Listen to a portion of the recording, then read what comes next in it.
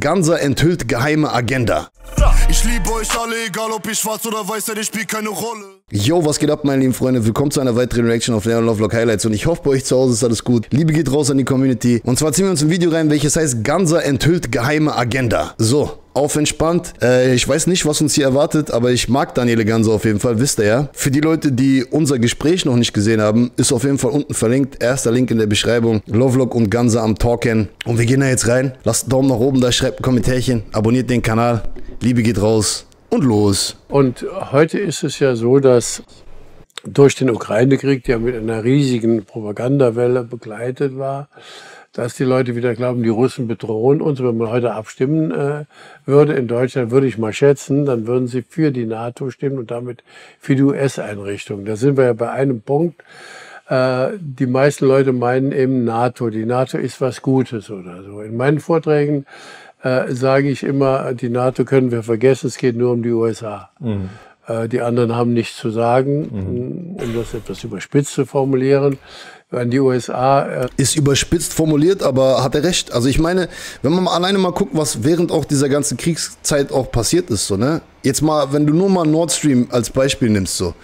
Und da siehst, dass die US-Amerikaner quasi dafür gesorgt haben, dass diese Nord Stream Pipeline gesprengt wird und Deutschland extremen Energieprobleme, also äh, Energiepolitikprobleme und äh, Industrieprobleme dann gleichzeitig auch reinrutscht, so, ne? Und wir als Deutsche dazu nichts gesagt haben unsere Politik die Schnauze gehalten hat, Bevölkerung auch nicht wirklich jetzt da mal aufgestanden ist und gesagt hat, geht gar nicht. So, ähm, da siehst du, dass wir einen Scheißdreck mitzumelden haben. Wirklich einen Scheißdreck. Äh, nicht mehr in der NATO wäre, dann wäre die ein Bündnis ganz anderer Art, denn die USA sind eine aggressive Weltmacht. Mhm. Das haben die meisten noch nicht verstanden. Facts, Facts. Das sind die größten Terroristen.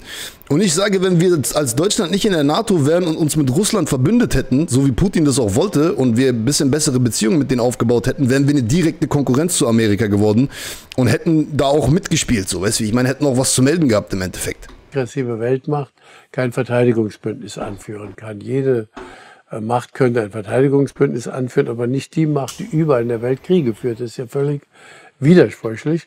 Und deshalb ist das ein Thema, das wir äh, wieder äh, ins Bewusstsein heben müssen in der politischen Debatte, dass die USA eben eine aggressive Weltmacht sind und dass sie daher nicht einem Verteidigungsbündnis angehören können, dem auch Deutschland angehört. Denn wir sehen ja, die ganzen Kriege der letzten Zeit haben irgendwie immer was mit den USA zu tun. Ja, immer. Äh, der Ukraine-Krieg, das ist ja eine meiner Thesen und die stützen Sie ja auch, ist kein Krieg der Ukraine gegen Russland oder Russland gegen die Ukraine.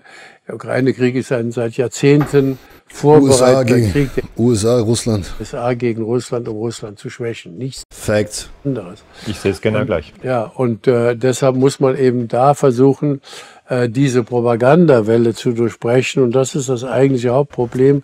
Wie kann man diese Vergiftung, äh, die eben eintritt, wenn man immer wieder die Lügen hört und dann irgendwann glaubt, wie auch welche. Aufhören, Fernsehen zu gucken, Medien zu konsumieren und diese ganzen Sachen so. Einfach damit aufhören. Und vor allen Dingen an, seiner eigenen, an seinem eigenen Bewusstsein arbeiten, so. Weißt du? und sich da selbst weiterentwickeln und eine, eine vernünftige Verbindung mit sich selbst und mit dem Göttlichen aufbauen, dann fühlst du was richtig und was Falsches. So. Da brauchst du keinen kein RTL oder kein ZDF oder kein ARD, die dir erzählen, ey, das ist richtig, das ist falsch. Und das geht bei allen Themen. Das fängt an bei 9-11, über Corona, über Russland, Ukraine, über Israel, Palästina, diese ganzen Sachen so. Hör auf, da die Mainstream-Sachen dir reinzuziehen und dich davon programmieren zu lassen, sondern mach dir deine eigene Meinung. Bild dir deine eigene Meinung so, weißt du? vorausgesagt hat, das ist die Wahrheit. Mhm. Der hat das genial erkannt, was da mhm. eigentlich läuft. Und wenn also diese Propaganda so lange wirkt, dass eben alle meinen, ja, das ist ja so der böse Russe, der hat also angegriffen und die USA brauchen wir, um uns zu schützen, dann ist es eben wirklich die Aufgabe, durchzubrechen und zu sagen, das stimmt alles. Karusmus sagt, Love Stream einschalten. Oder so. Das ist natürlich die beste Variante. Love, Bro.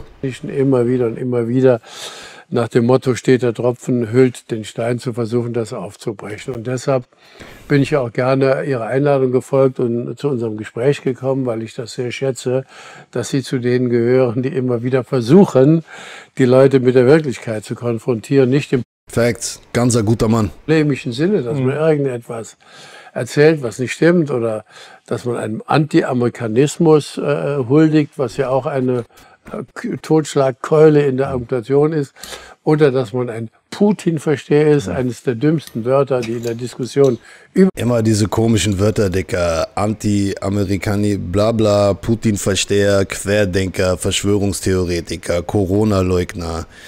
Jungs, Mädels, bei diesen Begriffen muss man einfach schon, wenn, wenn, wenn solche Begriffe um deine Ohren fliegen, dann weißt du auf jeden Fall, dass deine Meinung näher an der Wahrheit ist, als du denkst. dir, Digga. gebraucht werden. Wir bräuchten Putin-Versteher in Deutschland, die wüssten, was Ja, Digga, das vor allen Dingen sind das so Begriffe so, ne? Das sind so Begriffe so Querdenker. Querdenker war mal Lob, weißt du? Alle großen Namen, Tesla, Einstein, diese ganzen Leute waren alles Querdenker. Und dann wird das genutzt, um eine gewisse Menschengruppe zu diffamieren, obwohl es eigentlich eine, eine, eine, eine Auszeichnung ist, im Endeffekt. So. Dann ist Russland-Ukraine-Konflikt und du versuchst mal zu verstehen, wie das eigentlich dazu kommen konnte. Und dann sagst du, dann sagst du Querdenk, äh, dann sagst du hier Dings, Putin-Versteher, was eigentlich eine gute Sache ist. So. Wenn es einen Krieg gibt gerade, dann ist es doch geil eigentlich zu verstehen, warum es den Krieg gibt. Dann kannst du doch eigentlich erst für Lösungen sorgen, wenn du jemanden verstehst. Das ist eigentlich gar keine Diffamierung, weißt du? diesen Präsidenten der UdSSR bewegt. Ich sage in letzter Zeit immer, wir brauchen wieder Deutschlandversteher oder ähm, Scholz-Versteher wäre etwas unpassend jetzt wieder bei meiner Wertschätzung dieser Person. Aber Deutschlandversteher in dem Sinne, dass sie wissen, was die Interessen der Deutschen und der europäischen Bevölkerung sind. Und die sind ganz einfach, wir wollen nicht in einen Krieg verwickelt werden. Und solange wir den jetzigen Weg gehen, erhöht sich die Wahrscheinlichkeit, dass wir in einen Krieg verwickelt werden. Ja. Okay, haben wir uns reingezogen. Also das Video heißt Ganze enthüllt geheime Agenda und Daniele Ganze hat nicht ein Wort gesagt, Digga. Also da muss ich zum Kanalersteller auch mal so einen kleinen, äh, wie soll ich sagen, eine kleine Kritik äußern. So. Äh, das hättest du ein bisschen anders nennen können, auch wenn ich das so sagen darf. weil Der hätte du Oscar geschrieben, weißt du? Trotzdem geht Liebe raus. Schreibt eure Gedanken dazu wie immer unten in die Kommentare rein. Wir sehen uns im nächsten Video. Macht's gut, haltet die Ohren steif. Peace out. Mini-Kritik so, von Seite kurz.